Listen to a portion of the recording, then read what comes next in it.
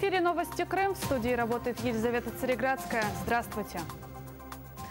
Политзаключенный Владимир Балух прибыл в конечный пункт этапа колонию города Тверь Российской Федерации. Об этом нам сообщила его адвокат Ольга Динзе. Связи с Владимиром нет, о состоянии его здоровья пока ей ничего не известно. Сегодня мне стало известно, а информация осуществилась тем, в том, что Владимира Балуха действительно этапировали в Тверь. Какую колонию, я пояснить не могу, поскольку данной информации не располагаю. С ним связи нет.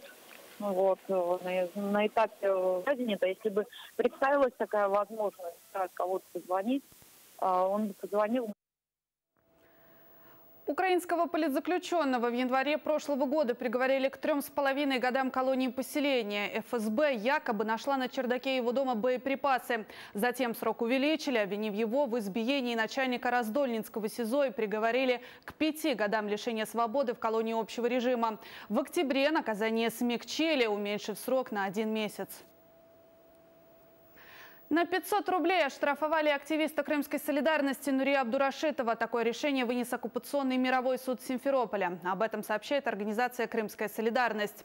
Напомню, Нурия Абдурашитова обвинили в запрещенной съемке в коридоре оккупационного Симферопольского суда 6 декабря во время заседания по делу адвоката Эмиля Курбединова. В это же время съемку проводили операторы российских и оккупационных телеканалов. В их отношении обвинений не выдвинули. Оккупационный Верховный суд Крыма отказал стороне защиты военнопленного моряка Андрея Эйдера в восстановлении процессуального срока задержания. Сам украинец участвовал в заседании по видеосвязи вместе со своим московским адвокатом. Крымский защитник присутствовал на суде в аннексированном Крыму. Об этом нам рассказал координатор команды адвокатов военнопленных моряков Николай Полозов. Исход очевидный. Суд отказал в удовлетворении э, жалоб адвокатов. А, отказался приобщать резолюцию Парламентской ассамблеи Совета Европы, указав, что это давление на суд.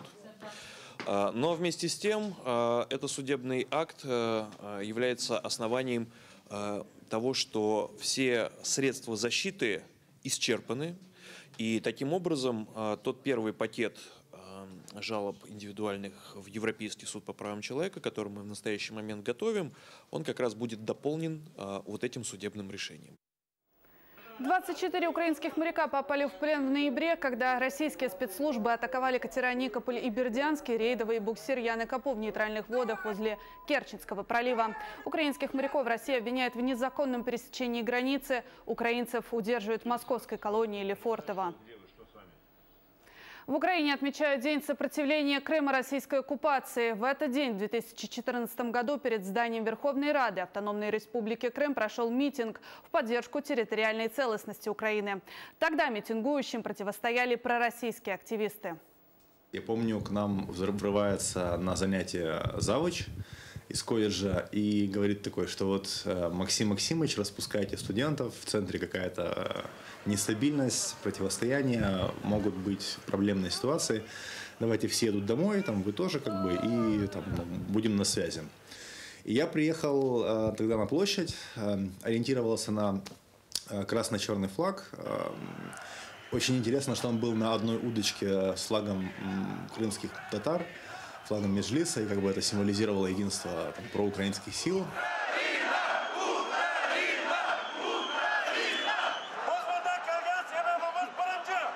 Говорили о том, что нам не нужны эти столкновения, э, просили разойтись, э, сделать коридор, чтобы не допустить э, столкновения с теми, кто имеет иную точку зрения. И это часто видно. И так, и в мегафон мы говорили, создайте коридор, дайте коридор, дайте коридор. То есть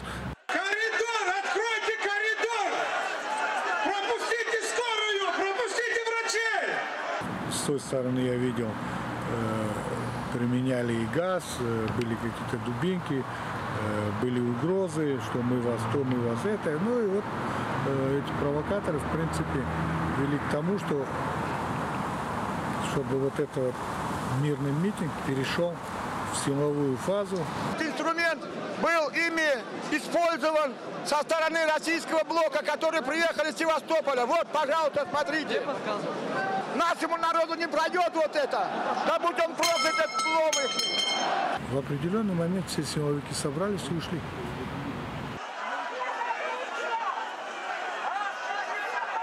Был создан этот коридор, по которому, который создавали вместе Дярука Обрагу, Рифат Чубаров и Сергей Аксенов. Не потому что мир, дружба, жвачка, дипломатия, а потому что страшно. А, Потому что в какой-то момент было понятно, что все это может превратиться в самую настоящую бойню. И вот это вот немного паническое выражение ошарашенных глаз мне очень сильно запомнилось на лицах и Чубарова, и Аксенова, и вот и у всех остальных, кто пытался это остановить, находясь среди многотысячной толпы, которая никому не подчиняется и хочет только схлестнуться.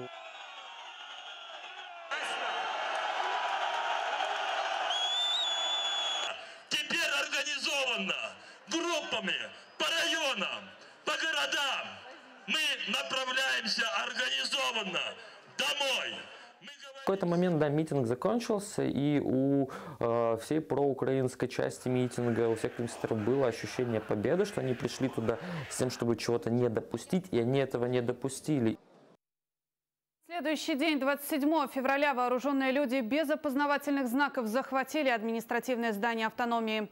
Местные депутаты утвердили решение о референдуме о присоединении полуострова к России. В этот день началась российская агрессия на полуострове. Следователи прокуратуры Автономной Республики Крым установили, в результате столкновений под крымским парламентом 16 человек получили ранения, двое погибли. В эфире ЮА Крым проходит телемарафон «Крым. Пять лет сопротивления российской оккупации», посвященный пятой годовщине захвата полуострова России. О чем говорили спикеры марафона, смотрите далее.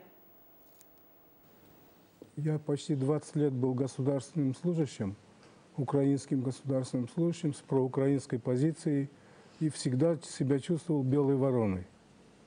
По-настоящему украинской власти в Крыму не было ни одного дня. Э, Конечно же, единственный эффективный способ спасения, назовем это так, э, украинских и политзаключенных, и военнопленных, а в общем заложников, потому что по-другому этих людей нельзя назвать, это, конечно же, э, внешнее давление на тех, кто принимает решения об их судьбе. Это Кремль, это конкретно президент Путин. И если Украина и ее партнеры будут способны сформировать надлежащим образом давление, артикулировать проблематику, назвать все вещи своими именами. Да, что военнопленные – это военнопленные, что должно применяться такое законодательство, а не другое, что Крым – это оккупированная территория и так далее, и так далее, то тогда Кремль будет вынужден считаться с этим. Нужно представить мировому сообществу, я убежден, я говорю свое мнение, э, подменить э, фактор такой национальной борьбы на э, фактор религиозный, на фактор экстремизма, терроризма, то есть неких якобы групп, диверсантов. Цель одна, понимаете? Поэтому все эти э, дела имеют политически мотивированный характер. Вот этот миф о русскости Крыма, он провалился 27 февраля. Потому что русские, этнические, в своем большинстве с хлебом солью не встречали врага оккупанта. Они потом впоследствии вместе с крымскими татарами, с украинцами и с другими стояли вдоль трасс от Керчи до Симферополя, от Симферополя до Севастополя, стояли и говорили, Путин нам не надо помогать на разных языках. Как живой щит российские военные использовали гражданское население во время захвата объектов в Крыму пять лет назад. Об этом рассказали на пресс-конференции представители прокуратуры Автономной Республики Крым, Украинского Гельсинского союза и Регионального центра прав человека. Использование гражданского населения в военном конфликте – это нарушение статьи 28 4 Женевской конвенции. Она регулирует нормы гуманного обращения во время войны, говорит заместитель прокурора Автономной Республики Крым Игорь Паначевный. Цивільне населення безпосередньо кримське, е, яке поділялось там на прихильників окупації Криму, на противників окупації Криму, які також е, ставали е, такими невільними учасниками живих щитів. Це і самооборона Криму, те ж саме козаки, і російські козаки, і місцеві козаки кримські, які були живим щитом між російськими військовими і українськими військовими і найманці безпосередньо ті, про кого ми говорили. В- Зокрема, встановили зараз е, сербських е, найманців. В Херсонской области сегодня прошли митинги и акции, посвященные пятой годовщине оккупации Крыма Россией. Как это было, смотрите далее. Я сьогодні помолюсь за Україну, на коліна стану перед Богом. Ти врятуй, прошу мою країну, дай їй легку і пряму дорогу. В селе Чангар Херсонской области к пятой годовщине оккупации Крыма Россией прошла акция солидарности «Крым – это Украина». Сельский голова Галина Коваль вспоминает события пятилетней давности. Було 27 лютого саме до нас прийшли вже ці зелені чоловічки. На- Напроти сільської ради зламалися два БТРи. Бистренько почали ви- повитя- повибігали, почали підтягувати один другого. І ми швидко вибігли з сільської ради і почали кричати, що ви тут робите? Ні слова. Вони навіть нічого не відповіли нам. Крымчанка Евелина Арифова говорит, что после оккупации Крыма к ее родителям приходили сотрудники ФСБ с обысками из-за ее проукраинской позиции. Була активним учасником е, Євромайдану Крим. Е, я е, приймала участь у волонтерській діяльності в Києві. Я виїхала із Криму, щоб допомагати українським військовим. А это уже Херсон. В центре города прошел митинг. Сьогодні запросили херсонців підтримати цю акцію, цей флешмоб, щоб кожен своїми силами, своєю власною рукою написав те, що він вважає за потрібне, щоб підтримати наших е, так як політичних е, в'язних і в'язнів, які знаходяться сьогодні в Росії, так і виразити свою позицію стосовно всіх цих подій. Ивана Шептицкая, новости ЮА Крым. Это все новости к этому часу. В студии была Елизавета Цареградская. Следующий выпуск новостей уже в 19.00. Оставайтесь с нами и подписывайтесь на ЮА Крым в Facebook.